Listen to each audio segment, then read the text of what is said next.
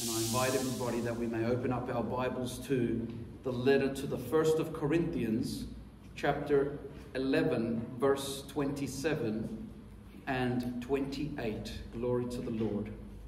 That's First Corinthians, chapter 11, verse 27 and 28. May the Lord's word bless you, keep you, strengthen you, correct you, exhort you, and straighten you. And the same go for me. Hallelujah. Because the word of the Lord is living and powerful and sharper than any two edged sword. It pierces through the dividing asunder of soul and spirit and joints and marrow. It is a discerner of the thoughts and intents of the heart. And I hope that the Lord bless you in this precious afternoon. We read the scripture in the name of the Father, Son, and Holy Spirit of the Lord. Amen. And the scripture says, Wherefore, whosoever shall eat this bread and drink this cup of the Lord unworthily shall be guilty of the body and blood of the Lord. But let a man examine himself, and so let him eat of that bread and drink of that cup. God is mighty in the midst of his people. Mighty is the Lord. Hallelujah. This title of this message, brethren, is The Victorious Are Found Worthy. The victorious are found worthy, brethren. The portion that we have read here today is a portion taken from, as we read, First of Corinthians. It was a letter that was given to the church of Corinthians. Now, this was a letter that was actually uh, sent to them by the Apostle Paul. A letter that was sent to a church that was classified more Gentiles. It was less Jews in that church, but there was more Gentiles in that church. So that's non Jewish uh, descendants that were making up the bulk of number of that church in Corinthians. And so, therefore, brethren, this church that had a lot of problems, that had all the gifts, they believed in Jesus, but they were filled with problems. There was sin in the church, there was disorder in the church, there were so many things going wrong, including when it came to celebrating the good ordinance that Jesus Christ left for us, known as the Lord's Supper, or others know it as Holy Communion. And so that's why in this entire letter that uh, Paul wrote to the Corinthian church, he spent some time writing to them and letting them know a few things about the order that God has left for when doing Holy Communion. Now, every single Christian, brethren, it's every single Christian's duty to take part in Holy Communion but depends on how we are, will depend on whether we are found worthy to take part or not. Now, this is something that doesn't have to do with you know somebody else judging you here. This is, as I've mentioned before, brethren, the fact that when we do Holy Communion, each of us present ourselves before our judge, our God, our Savior, Jesus Christ. And He is the one that judges because He's the only one that can judge righteously. You know, he sees at the most profound of what is in our heart. He knows every single thing. And so that's why when we read this portion, and I'll read it again, when it gets to this portion that um, the Apostle Paul is actually talking about how to perform the Holy Communion, he gets to a certain point. If we go back to verse 27 and verse 28, he comes to a certain point, and when he's speaking to the church, We've got to remember that the church is made up of believers. Firstly, those who have believed in the death, the resurrection, uh, the ascension of Jesus Christ, you know, the, the salvation process, the, the work of salvation in our life. So, the work of God in our life through Jesus. And when we come to believe in Jesus Christ, then we also need to be baptized. That's one of the other ordinances that God has left for his people. And so when we believe in Jesus and we've come to be baptized in the waters as the Lord has established, then we basically get led by the Holy Spirit. Because remember, every Christian when our belief, when our faith has been genuine to receive Christ as our Lord and as our Savior, then the promise of the Father comes, which is the promise of His Holy Spirit. That is the seal of our guarantee, meaning that we then know that the Holy Spirit dwells within us. And it is the Spirit of God that gives testimony with our spirit. He gives witness to our spirit whether we are sons of God or whether we are not. And this is what allows us to then have a communion with the Spirit of God, where the Spirit of God will start to lead us and go, You are not going to do this anymore. You are not going to go to that place anymore. You will turn off the TV and start praying instead. These are the things that the Holy Spirit starts to work in us. And as we obey the Spirit of the living God, He starts to lead us in that path of sanctification and consecration. And so, therefore, when it came to this particular church, the church of Corinthians, and they were talking about Holy Communion, Paul says to them, Wherefore, whosoever shall eat this bread and drink this cup, referring to Holy Communion, he says, if we do it in an unworthily manner, that we will be found to be guilty of the body and the blood of the Lord. In other words, when we think back to what the scripture says about those men, Roman soldiers, as well as the religious uh, leaders of the Jews, which you know betrayed Jesus and took Jesus to go and get uh, the death sentence, you could say. And when Pontius Pilate, you know, made the death sentence, the Roman soldiers got him. They whipped him. They ripped his, his beard out and they spat on him. They ridiculed him and so many things, taking him to the cross. These are the things that the scripture is telling us that we will be guilty.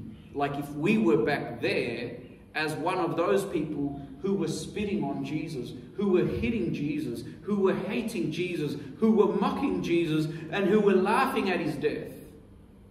That is what this is actually saying, brethren. He says, Wherefore, whosoever shall eat this bread and drink this cup of the Lord unworthily shall be guilty of the body and blood of the Lord. And verse 28 then says, But let a man, so that's let everyone examine themselves. So we all need to examine ourselves, even though, yes, this is a day of celebration. This is a day of joy because we are here to obey that ordinance which tells us as Christians that we need to obey the Lord in taking part of Holy Communion. But at the same time, we need to examine ourselves if we are in the faith.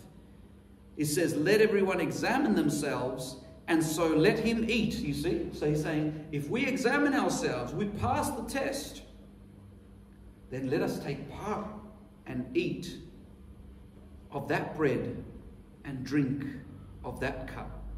Hallelujah. Praise be the Lord. And this is why, when we examine ourselves, brethren, you see, we've got to examine ourselves because God has given you and given me, when He created us, He created us a spirit, soul, and body. In your human spirit, in my human spirit, that's where the Holy Spirit's going to speak to us. In our conscience. And in our conscience, He'll be like, hmm, what are we doing? What have we been doing today? What have we been doing in the week? What have we been doing in the month? Am, am I pleasing before my Father? Does my Father, is, is he pleased with me? Now, each of us can know this. Each of us can know this in our spirit, in our conscience we can know this whether God is approving us or He's disapproving us. We can know that. And this is why, when we are genuinely sincere with God, as Christians who have the Spirit of God, must have that communion with the Lord, must understand how to have that communion with the Lord. If you may not understand it yet, well, that's why, as a church, we are here to help so that you can understand how to. But I'll show you, brethren, what the scripture says as to how we are to examine ourselves. You see, you and I, as human beings, have three enemies because the prize is your soul. The prize is my soul. And where we want to go, our, our free will is in between. Do we choose life or do we choose death? Do we choose good or do we choose evil? The free will choice is yours and mine. That is the God, the good God that He has given us a free will choice to choose what we want in life. Do we truly want Jesus or do we not truly want Jesus? That's a decision that each Christian, each person has to make in life. And not just Christians, those who are non Christians have to make that decision too, because when the word, the gospel, the good news is given to them, they need to make a decision too whether they will receive the word and follow Jesus or whether they will reject the word and choose not to follow Jesus. So, in saying this, brethren, you see, we have three great enemies in this life. You have been made as flesh, body, so uh, uh, spirit, soul, and body. But you also have threefold enemy as well. Hallelujah. The threefold enemy you have, brethren, I'll mention them, is the flesh, meaning the fleshly desires. It's not your actual body, because that's your human body, my human body. But what's in that human body, we have desires. And these desires, many times, are the ones that want to do, do those things that are contrary to the Word of God. And so the flesh is one of the biggest enemies we have. Another one we have is the world. When we say the world, we're not talking about us as Christians being people who hate this earth and we hate everything in it. No. What God created, He created good. So when we talk about the world, brethren, we're talking about systems that have been designed by mankind who have been influenced by something. And when they are influenced, they create systems which cause people to lose themselves in those systems. And those systems are oftentimes contrary to the Word of God. And you know, everything that is, that is contrary, everything that is against the Word of God is actually sin. So those systems that have been created in the world are places where we can go and indulge the flesh and lose our time. Things that are not drawing us closer to God, but yet they draw us away from God. Things that instead of uh, causing a desire in us or a feeling in us to, to want more of God. Instead, they pull us away, and we then don't feel like praying much anymore. We don't feel like reading the Word of God much anymore because the worldly things are attracting us now. So, some of these systems and worldly things, brethren, are things like you could say the casino, where people want to go and bet their money why? Because they have a hope of making more money. So these are systems for people who have their heart on the love for money. And you see, anybody who knows scripture will say, well, Jesus said, the love of money is the root of all evil. There's other systems as well, brethren, that cause us to lose our way, to lose ourselves in the world. For example, the entertainment industry is a big one. People going all different places, all different sports that there are available where we can go and waste our time anywhere we want, basically. But that does not draw us close to God. That leads us away from the Lord if we are not careful. Just like that, there's so many other places that I could name, brethren.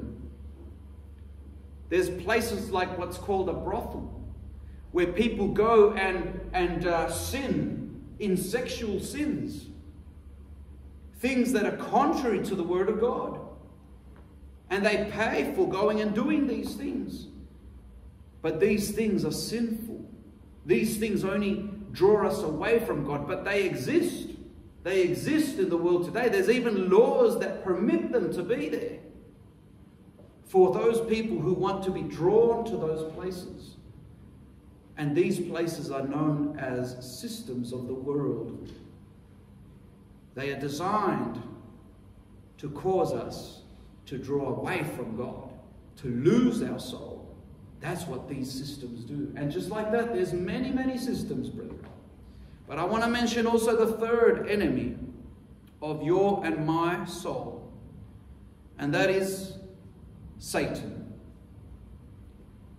Satan, his name, may the Lord rebuke him, means adversary. Adversary means like a enemy. Enemy of what? Adversary of what? Contrary of what? Contrary, adversary of the Word of God. Because it is the Word of God that leads us to God. It is the Word of God that leads us to salvation. It is the Word of God that leads us on the path that we should be, brethren. But Satan, may the Lord rebuke him, leads people away from God. But now we're going to have a look at how these three things operate in our life, brethren. Because if we want to know if we are approved by God to take part in Holy Communion. And this is not just for here, brethren. This is what the scripture says. This is wherever we are. Because, for example, you know, in my case, or in Sister Martha's, or anybody else, when we travel somewhere else, you know, obviously I can't go to my local church. I can't come here if I'm in another state or if I'm in another country. But we seek to congregate in obedience to the Word of God that tells us not to stop congregating. So we congregate to go in fellowship with brethren in Christ and continue worshiping God where we find ourselves. But at the same time, brethren, when it comes to doing Holy Communion, the same scripture that's here is the same scripture that I submit to wherever I go. Because God's Word is God's Word wherever I am. And I need to keep myself for the Lord wherever I am. And so, therefore, brethren, when we look at the third enemy, the third enemy being Satan, where the Bible describes him as a cherubim when he was up in heaven. The Bible describes him as rebelling against God. In the book of Isaiah, chapter 14, says that he would say in his heart, I will be like unto the Most High. I will put my throne at the sides of the north. I will be like the Most High, were the words that he would say.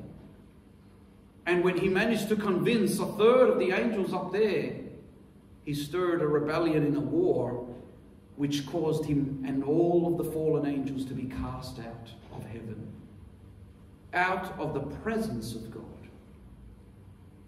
And so, therefore, brethren, you and I have this enemy because you see, you have been given the opportunity for salvation. He no longer has it. Praise the Lord. Hallelujah.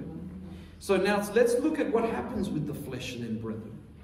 Let's look at this enemy of ours, the desires of the flesh. How does this operate? Let's go to James chapter 4, verse 1 to 4. In James chapter 4, verse 1 to 4, the Bible speaks to us about how temptations operate, how they come onto mankind. And the scripture says to us here, we've got it up on the projector as well. It says, From whence come wars and fightings among you? You want to know where the wars come from? All these wars in history and all these uh, things that rumors of wars that you might hear in the governments in the world today, well, have a look at this because this is where, where it comes from. It says, From whence come wars and fightings among you? Come they not hence even of your lusts that war in your members? So it's something that stirs up in each of us, in the lusts of our flesh in the desires of those things that we desire to do. And many times, those desires that pop up are desires of the flesh which are contrary to the Word of God. It goes against what God wants. And this is why we need to submit ourselves to the Word of God. That we may deny ourselves how Jesus has said. If you want to be my disciple, he said, well, he said we have to take up the cross each day. We need to deny ourselves and follow him as our example. And so when we look at the scripture, he says, You lust. Now, that word lust, you know what that word means? Lust is when you have such a strong desire. You've been thinking about something, yeah? Let's just say that there's a thought. It just popped in my mind. Hmm, I'd like to do this. I'd like to taste that. I'd like to touch that. That's a thought that just came. But if I let that thought continue, it goes into my emotions. And I start to almost be able to taste that. I can almost see it. I can almost touch it, even though it's not there. And you know what that does? It creates a desire. My emotions start to get drawn to it. And when we start to lose control and say, oh, how, I, how much I want that, how much I desire that, how much I, I want that now. But if what you want is contrary to the Word of God, this is now what is called lust, brethren, because it is such a strong desire for those things that are against God's will. That is lust.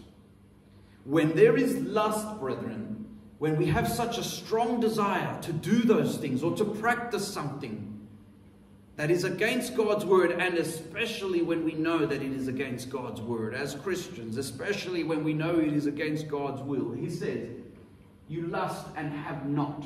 You kill and desire to have and cannot obtain. You fight and war, yet you have not because you ask not. You see, what happens many times is people go to war because of their lust, because they want, because they're greed, because they want more money, because they want this one's gold, because they want that one's house, because they want that one's car, because I want to have that one's talents. And we don't seem to be satisfied with what God has given us, with the portion that is rightly and duly ours. You know, another word for that, God said to Moses, in the 10th commandment you shall not covet, you shall not want. Those things that do not belong to us, we shall not have a strong desire to want them. We should be satisfied with what God has given us. But this is why he's saying that we, you know, we don't receive, you know, coming back to Christians, we don't receive because we don't ask properly. You know, I'm sure how many how many times is there people who have asked God something and have not received it. But then when you realize what is it that we're asking for? Because if we're asking and we say, oh God, give me a, uh, the latest car, thank you. Because your word says, you know, anything I ask in your name, I shall receive it. So we start to want to say things like, give me the latest BMW of 2022 in Jesus' name, thank you. God knows the intentions of our hearts and what we're going to use that thing for. If He knows that we're stuck on the television all the time watching Need for Speed or uh, Fast and the Furious or all them fast car programs and TV shows, then He knows we're going to go and be wrapped around a pole at 120, 200 kilometers an hour. We're going to go and kill ourselves with that car. So, no, He's not going to give you something that He knows you're going to go finish yourself with. No, he's not going to give us something that he knows we're just going to go and, and, and you know, show it off to other people. These are all characteristics that are not right to begin with in the Lord.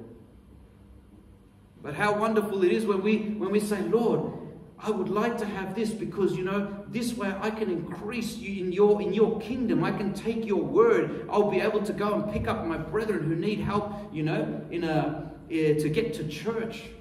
I'll be able to help the elderly that can't drive anymore. When we align our life to the will of God, brethren, to His kingdom, that's when we're going to see things operate. But because many people, you know, in the world, they don't know Jesus. So that's why they're fighting. That's why they're warring.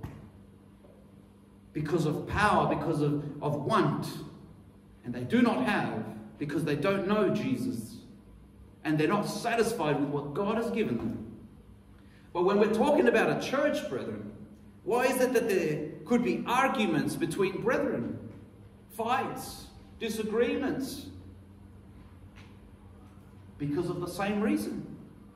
We don't align our life to the will of God. If we did, then God will answer all our prayers because we would no longer ask Him for things that we know that we are not going to receive. We would no longer ask Him for things that are desires of our flesh. We would ask Him for things that He is pleased with. We would learn how to ask according to His will. And the scripture says, You ask and receive not because you ask amiss. We miss the mark. He says that you may consume it upon your lusts. In other words, he's saying that if we ask for something, he doesn't answer that because we've asked wrong to begin with. We've gone with the desires of our flesh. We've gone with what we want and not with what he wants. Do we get the point? When we learn to ask according to what he wants and not what I want, that's when you're going to see the glory of God. That's when you're going to have your prayers answered. When we do away with the fleshly lusts. But that fleshly lust, brethren, is always with us wherever we go. Because you are in this human body. I am in this human body. And as we are in this human body, we have what's called a fallen nature. And that fallen nature comes in your blood, in my blood. It's in our DNA. So then, how do I overcome something that I have inherited by my parents and their grandparents and their grandparents? Christ Jesus is the answer, brethren. Christ Jesus shows us that when we submit to God, we are able to overcome the desires of the flesh. We are able to put a stop to the desires of the flesh. We are able to not take that path, but take the path that Jesus has marked for us. It is only with the strength of God, in the power of His Spirit, in the power of His Word. Hallelujah. And when we continue reading this verse, brethren, because this, this uh, enemy that we have, the desires of the flesh, this enemy, you are your greatest enemy. I am my greatest enemy. Because the scripture also says in verse 3, um, we'll read it again. You ask and receive not because you ask amiss that you may consume it upon your lusts. And verse 4 then goes on to say, You adulterers and adulteresses, you know you not that the friendship of the world is enmity with God? Whosoever therefore will be a friend of the world is the enemy of God. Look at that, brethren. This has jumped onto the next part. Because you see, if I'm following the desires of my flesh, the lusts of my flesh, they're going to draw me to do something. They're going to draw me to practice something. And I'm going to go and practice something in this world. And that something is not right before God. And look at how he calls us, because you've got to remember that God considers you and I as the bride, as his church, and Jesus is the groom. And we, as the bride, are waiting for Jesus to come for his church, for his bride. And so the scripture here says to us, He goes, You're adulterers and adulteresses. And He goes, Know you not that the friendship with the world is enmity with God? It's not, in other words, if I choose the world, I'm choosing to become an enemy of God. How terrible is that? That's what the scripture is telling us. And this is why the flesh is an enemy of us because the flesh is not leading me to God, the flesh is leading me to hell. And so, therefore, I've got to put away my desires of my flesh and I've got to bring on board God's plan for me. What's God's purpose in my life? Because God is saving me. Whereas, if I want to have it my way, I'm going to lose myself. I can't trust in myself. You can't trust in yourself.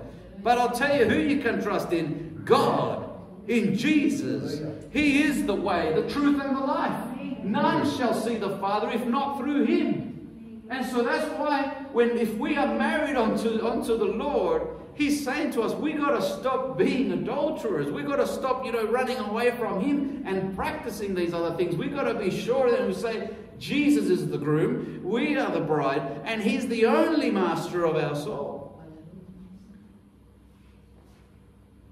So you see, the flesh is very, very deceiving, isn't it? It acts like our friend, but it's not. It's a deceiver, it's a liar, and it's an enemy of God. But also, it's touch on the world. So, but I'll tell you what, before we move on to the world, I want to give you a scripture, brethren, how to dominate the fleshly desires. Get this word, James chapter 4, verse 7. This is the answer, brethren. If you take this word in your heart, and when those fleshly desires come upon you, you will overcome with this word if you believe it. Then you will submit yourselves, therefore, to God and resist the devil, and he will flee from you. Because you know what? The devil, brethren, comes and he touches the desires of your flesh. He comes and he brings forth things to tempt you through your flesh, through the lusts, through the desires of the flesh. This is what he does. And when he comes to tempt, that's where we need to be ready. You see, Jesus said, Pray and watch, lest you enter into temptation. The enemy comes to tempt, to tempt us through the desires of the flesh. So, this is why when we have a life of prayer, of fasting, of reading the word, of, of obeying the word of God. This is you and me submitting to God. And when we submit to God, the devil still comes, brethren. But when he comes and he throws those fiery darts against our faith, when he throws that, that, you know, when he tries to tempt us in our flesh, because we have been submitting to God, straight away we will know this is not of God. I rebuke it in the name of Jesus. And God Himself will give us the strength in the Spirit to not let our fleshly desires go away. Because you see, the fruit of the Spirit, one of the parts of the fruit of the Spirit is self control. And God will give you, give me self control that in that moment, when the enemy tries to cause us of our free will to draw away from God through the desires of our flesh, we will say, No, you don't. In Jesus' name, I submit this flesh at the feet of Jesus. And so we don't run away with where the devil wants us to go. So, this is why the scripture says, Submit yourselves therefore to God, resist the devil, so it requires resisting. But I'll tell you what, if we don't submit to God, we won't be able to resist the devil. A lot of people try to resist the devil without submitting to God. It's going to always fail, brethren. We must always submit to God in what He wants us to do so that when, when the temptations come, we have the strength of the Lord to be able to resist the devil. And once resisted the devil by submitting to God, he will flee from you. You see how good God is? You no longer will need to flee from the devil. The devil will flee from you. That's what the scripture says. But we need to learn to put everything in its order because that's what God has come to do to show us how to take on board those weapons of warfare and to use them accordingly for the victorious life in Christ Jesus. Hallelujah. So now let's go, brethren, to look at what it says about the world. The world is the second of the big enemy that we have in this life. Now, I mentioned in brief a few things of what the worldly systems are. Now, those systems are systems that the devil has used the minds of and influenced the minds of many people to create these systems to lure people in to those things. This is why you see that there is so much in the world these days of pornography. That's why you see that there's so much in the world of fighting. the, you've, you've got like, you know, all them fighting sort of shows of um, kickboxing, boxing, wrestling, all these things which cause people to fight each other and cause them to, you know, some, that sometimes they come out bleeding and some unconscious. That's not of God. God has told us to put away violence. You see the good thing about Scripture? You can easily see something and point it out because when we read Scripture, brethren, and we fill ourselves with the Scripture, you'll be able to see something. You hear something and you straight away, the Scripture comes and it's quick and it's alive and it's powerful and it says, That's not mine. And He gives us discernment to know what is God's and what is not God's, what is pleasing to God and what is not pleasing to God. So when we look at the scripture, brethren, about the world, let's go to Romans chapter 8, verse 5 to 9. Romans chapter 8, verse 5 to 9, brethren. We're looking at the enemy being the world, those worldly systems. When we look at those worldly systems, brethren, it says to us here, For they that are after the flesh do mind the things of the flesh now, get this, brethren. In order for you and I to go and do things of the world, firstly, we need to be enticed in our desires of the flesh. Because nobody will get up and go somewhere that they don't feel like going. So when we have that desire to go, when we have that fleshly desire to want to try something and be somewhere, then we get up. We will ourselves to go and we start doing those things. We practice them things. And so that's what the scripture is saying to us here for they that are after the flesh do mind the things of the flesh. So the things of the flesh are constantly in their mind.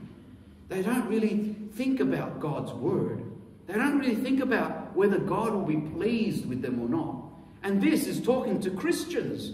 This is talking to people in churches, brethren. It's talking to people that, even in a church, there are fleshly people that once they've left the church and they go out there on the street, wherever they are, whatever thought comes into their mind, they don't even think of whether that pleases God or not. And then they go and they do it because they put themselves above God. You know what that's called? Idolatry. We've put ourselves before God. That's called idolatry. That's abominable before God. Because his commandment was in, in the Ten Commandments, he says, You shall not have gods before me. You shall have no other God before me. And a lot of people put themselves before God and create of themselves an idol. You know, many times the scripture tells us things, and we harden our heart and we say, Lord, you know my heart. You know it's not time for me to do this. And we make excuses not to follow the word of God. It's not that we didn't understand it, it, is that we put ourselves before God. That's called idolatry. These are sinful things, brethren. And this is why it says, the, the, the, For they that are after the flesh do mind the things of the flesh. But they that are after the Spirit, the things of the Spirit. How wonderful is that? Because those who are after the Spirit, brethren, you know, listening to what the Spirit says in their conscience. The Spirit says to them, you know, don't go to this place. Go there. You know, don't do this, do that. And we start following what the Spirit of the Lord says to us to do. And you know, the Spirit of God always leads us to the obedience of His Word. He always leads us to the Scriptures to obey those things that we have read and heard in Christ Jesus our Lord. And when we obey the Lord, we are in the Spirit. We are abiding in Him and Him in us. This is what it means that those that are after the Spirit, we take thought of the things of the Spirit. We think twice before we're going to speak something. We think, is this going to offend God? Is this going to offend the person that I'm going to talk to? Because God says, don't offend people.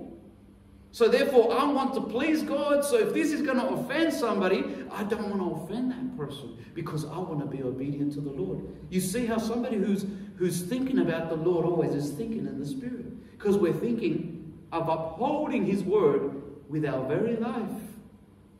When sometimes we get mocked and ridiculed for being Christians, for not going with the multitude where they go, for not practicing what other people practice, we hold that and we, we, we, we bear that burden.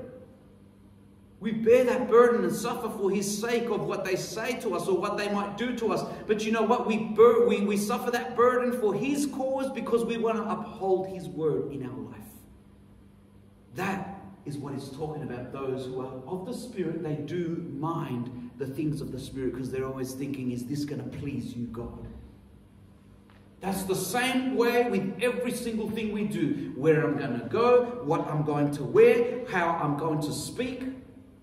Every single thing about us, we've got God in our mind and upholding His word and giving Him glory. Praise be the name of Jesus. Let's continue to read, brethren. We're going up until verse 9. And it says, For to be carnally minded is death. Look at that.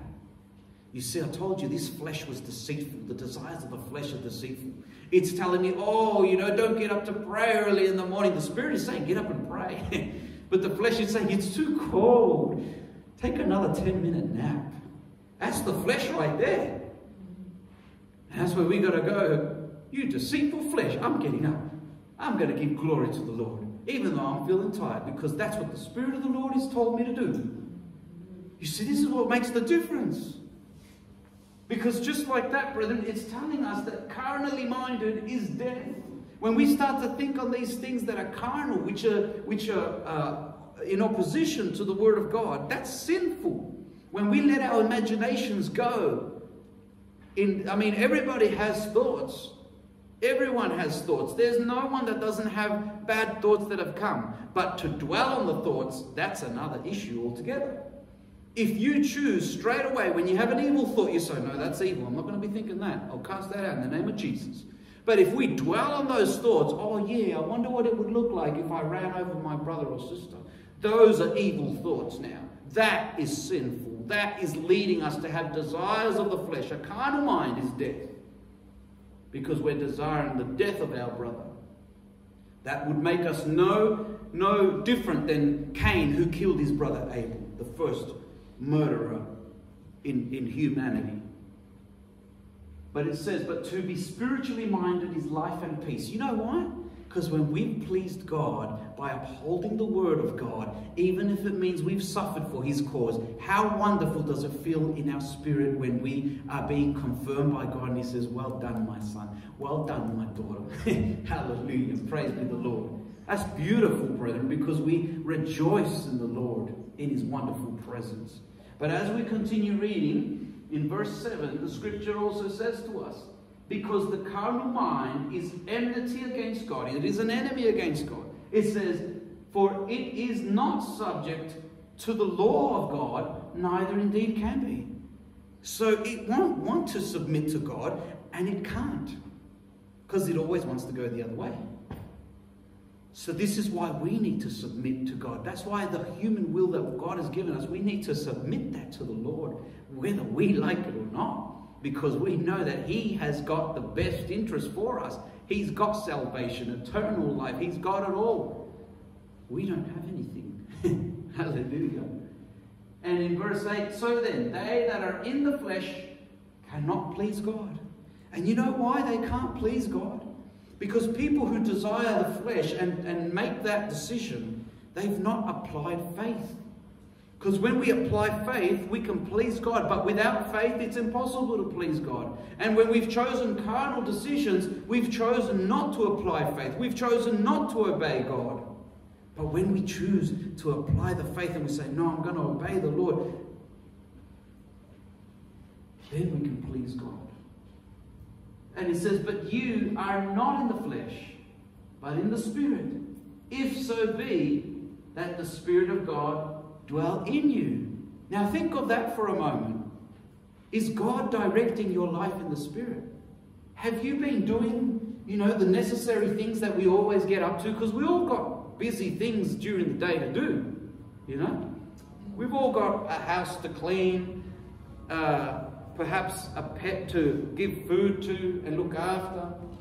We've all got things to do.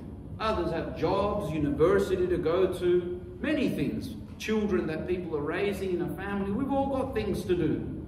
And they may not be sinful things. But I'll tell you what, when was the last time that you're doing something and you feel that pull in your heart and says, knock, knock, time to pray. Or it says, knock, knock, time to go read the word. In your conscience. No one has spoken, but you just feel it's like, hmm, I've not spent time with the Lord today. Does that pop in our mind? Does it come in our heart? Because if it doesn't, I'll tell you what, it's worrying. Because the Spirit of God will speak in our spirit always. Because His intention is to get to the end. And He will always lead us to the obedience of His word. But if we don't know when He's told me that, could it be that we've that we've told Him to leave? Could it be that that's why I don't know how to discern if it's Him or not? But I'll tell you what, there's an opportunity today to repent from that. There's an opportunity today that God has given us because you know what? God is so good. He's given us life today. And what does the scripture say? The scripture says that His mercies are new each day. You got life today? Then you got God's mercy today. We can make the decision today if we've not felt that for a while. If we've not, you know, followed the Lord in what He's wanting us to do. So He says, But you are not in the flesh, but in the Spirit. If so be that the Spirit of God dwell in you. Now, this is important, brother. Now, if any man have not the Spirit of Christ, he is none of his. That's very important to understand, brethren. Because you see, somebody who's not a Christian is not of God. Because someone who's not a Christian does not have the Spirit of God. They've not believed in Jesus as the Lord and Savior. They've not received the promise of the Father yet. But if we who are here today and we say, I'm Christian, I believe in Jesus, He's my Lord, He's my Savior. But He says, But if any man have not the Spirit, then God is saying through His Word that we are not His. And this is something that we need to ponder in our heart right now. That is very important for us to understand. Because as I mentioned at the start, the Spirit of God gives witness with our spirit if we are His sons or daughters. How do I know that the Spirit speaks to me? How do I know? Well, there's an easy way. What I was mentioning just before. The Spirit of God, often we are busy doing our things. But does it come into our thought? Does it come into our mind? Is God reminding us daily? Is God bringing it into our conscience? And is He, you know, when we are doing the wrong things or when we are in an opportunity to do the right thing? Yeah, it's not just that if we're doing wrong things. If we are found in the opportunity to do something that is right. Let me just give you an example of that. You go shopping. You go to the cash person, you know, the teller who's helping you. And all your shopping for that day is $10 and you give that person $20, they're supposed to give you $10 back, right? But they give you a $50 note because they're so busy and wrapped up with doing what they're doing that they didn't realize they gave you a 50. Now you can walk away from there going, praise the Lord, you've blessed me today. I got free shopping and extra cash. Or you can do what is righteous and the right thing and say, hmm, the Lord indicates to me that I need to do what is right. The Lord says to me, I'm not going to be right with Him if I walk away like this. Because I would not like that to happen to me. And so, therefore, Jesus also said, Do unto others as you will have done unto yourself. So, you see, it's not just about the righteous deeds of God. There's so many things of obeying the Word of God there that truly the Holy Spirit of God will definitely not let you walk away like that. But yet, there's been cases with people who have even brought that and go, Yeah, Lord, I bring my tithes and my offerings right here from that type of money. Would God accept that? Absolutely not. It would be very different if somebody was giving it to you saying, No, it's yours, you take it. And if it was theirs to begin with. But if we are taking something like that and we hide it, then we need to do what is right before the Lord. And so, therefore, brethren, God will always be speaking to us. He will be speaking to you in your conscience, in my conscience. But let me show you, brethren, how do we overcome the world? When we go to Romans chapter 8, verse 13 and 14, Praise be the Lord. The scripture says here, For if you live after the flesh, you shall die. But if you through the Spirit do mortify the deeds of the body, you shall live. For as many as are led by the Spirit of God, they are the sons of God. Is it clear, brethren? If we allow ourselves to be guided by God, God is not going to let us go to the worldly things. God is not going to let us get involved in worldly things. God is not going to let us, you know, let our fleshly desires go out of control. He's not going to let that happen. He's going to cut it straight through. And that's exactly what God wants you to learn. That's exactly what God wants me to learn. You know what? It's the difference between a victorious Christian, a Christian who lives victorious day by day in Christ, and somebody who's always stumbling and falling and then getting back up and then stumbling and falling again into sin. And then all of a sudden you see them 10 years later and they're trying to stand up firm in the Lord, but then you see them getting tangled in other things again. The difference is, brethren, between those who allow themselves to be guided by the Spirit of God, who listen to the voice of the Lord and do the things that God tells them to do. That's the difference. The other side, there's other people that they'll be like, oh Lord, yeah, I know I should go to church. I know you're telling me, but look at that winter cold, Lord, and uh, making all these excuses. And yet the Lord has a blessing for you where He's telling you to go, where He's telling you to be, what He's telling you to do, and what He's telling you to say. There's blessing in the Lord always when He does that, brethren. But you and I choose whether we miss out on those blessings or whether we receive them. And the scripture also says, yeah, it says, For as many as are led by the Spirit of God, they are the sons of God. So now I want to go to a portion, brethren. I want to show you how Jesus overcame these three enemies. Let's look at Matthew chapter 4, verse 3, all the way to verse 11. I'm just going to read it very, very brief. So, Matthew chapter 4, verse 3 and 4. Let's have a look how Jesus overcame the desires of the flesh. Now, it says in the scripture, and when the tempter came to him, this is when the devil came up to Jesus. Now, Jesus had already spent 40 days of fasting. But the scripture says, when the tempter came to him, he said, If thou be the Son of God, command that these stones be made bread. Why bread?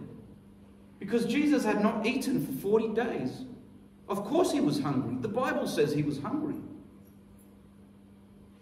He was hungry, but, and he had the power as well to, to change things from stone to bread. He could do it. But the tempter came trying to tempt the flesh. But verse 4 says, But he answered and said, It is written, Man shall not live by bread alone, but by every word that proceedeth out of the mouth of God. In other words, I am not listening to you, I am listening to my Heavenly Father. Where was that scripture given? That scripture was given in the Old Testament, in the first five books of Moses, where God said to the people, He says that God permitted the people of Israel to suffer through moments of hunger and thirst because God wanted to show them that mankind does not live by food and water alone. He says they live by the word of God. How do you think Moses was able to be up in the mountain for 40 days and 40 nights, where the scripture registers in more than three occasions that he had no food and no water in all that time? Humanly speaking, it is impossible. But godly speaking, all things are possible for God. because he was there receiving the Word of God, receiving those first five books of Moses that we have in our Bibles today. That's why he was up there 40 days and 40 nights. But as he was in the presence of God, a fasting that was inspired by the Lord, while the very life was there with him, how was he going to die? If the giver of life was right there with him. So in this case, brethren, when the desires of the flesh come, we overcome that with the word of God. This is how Jesus overcame the enemy. He says it's written, yeah? Where is it written? It was written in the in the parchments, in the rolls, in the scrolls that they had, the word of God. He was quoting the scripture to him. Let's look at what happened after that. Verse 5 to 7. How did Jesus overcome Satan? Now, this is a very important one. Because remember, Satan is using these things, but then he also comes at it himself. And how did Jesus overcome the enemy? It says, Then the devil took him up into the holy city and sets him up in a pinnacle of the temple. In, other words, on the top of the temple. And so Jesus is looking down, and he's up very high. But then the enemy says to him in verse 6 and saith unto him, If you are the Son of God, Cast yourself down, for it is written. Look at that. The devil's now quoting scripture to Jesus. But twisted scripture is not scripture of God. He says to him, It is written, He shall give his angels charge concerning you, and in their hands they shall bear you up, lest at any time you dash your foot against the stone. He was quoting to him from Psalms chapter 91, brethren. The devil was quoting scripture to Jesus. This is why, brethren, it is registered in there for your learning and mine that we need to know doctrine. We need to know God. We need to know His Word. Because the devil comes, and when he comes, whether it might not be a, a, a tempting in the flesh, but when he comes and he speaks, he'll twist the Word, he'll twist the doctrine to try and make us fall. And if we're not firm and grounded in the doctrine of Christ, many have fallen into false things and false doctrines because of that reason, for not being grounded and rooted in the truth of Christ. But let's look at how Jesus answered. Verse 7 Jesus said unto him, It is written again, Thou shalt not tempt the Lord thy God.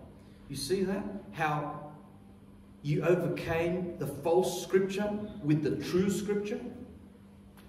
Because the devil was using scripture in a twisted manner, in the incorrect interpretation.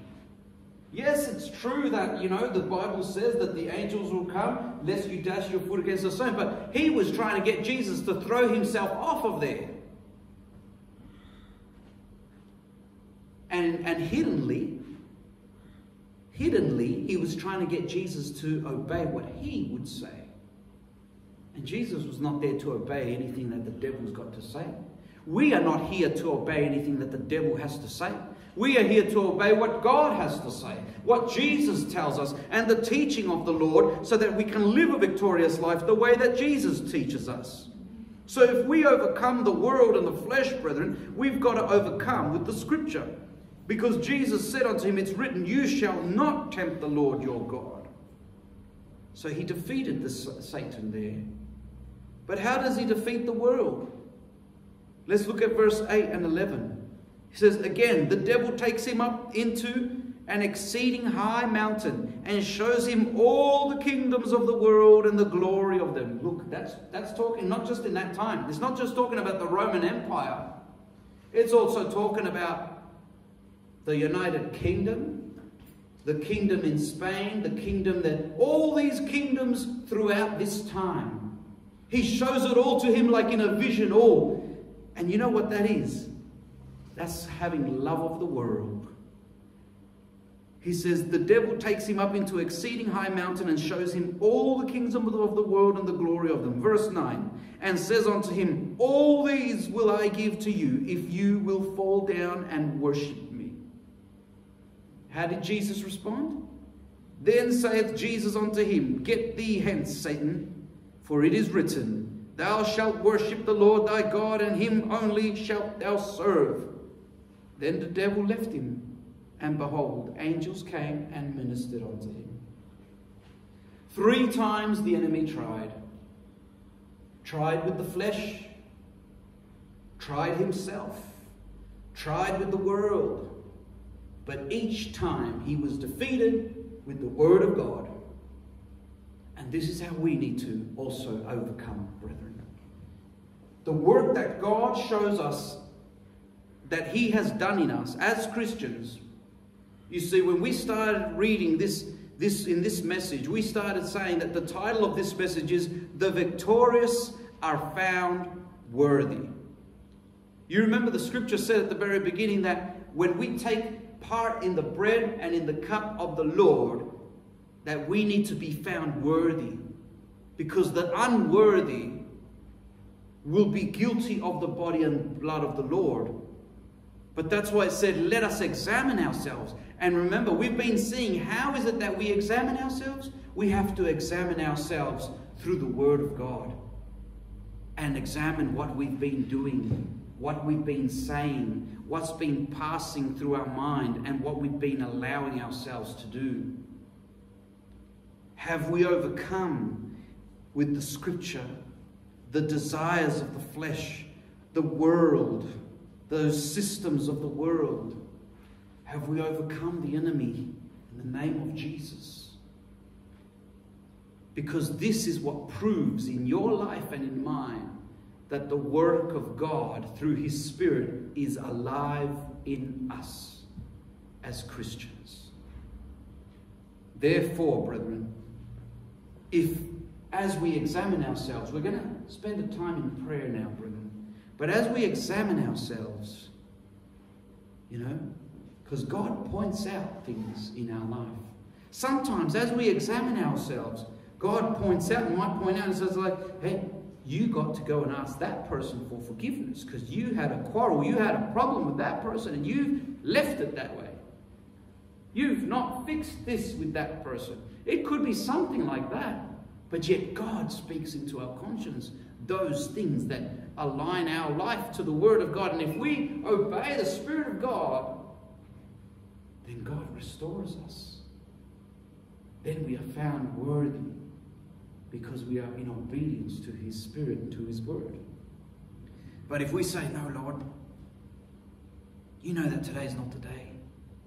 You know that it wasn't my fault. And we start to justify ourselves. Then let it not be, brethren, that if God is saying to us, we've got something to fix. If He's not approving of if He's not showing us that He's that He's uh, pleased with our life and how we've been living, then would that mean I am unworthy in this occasion to take part in the bread and cup of the Lord? Because I'll tell you what, the fear of the Lord, it is worth it to have the fear of the Lord and say, Lord, forgive me. You know, it is better to fix those things before the Lord that we may take part in that obedience with the Lord. But let us come into words of prayer, brethren.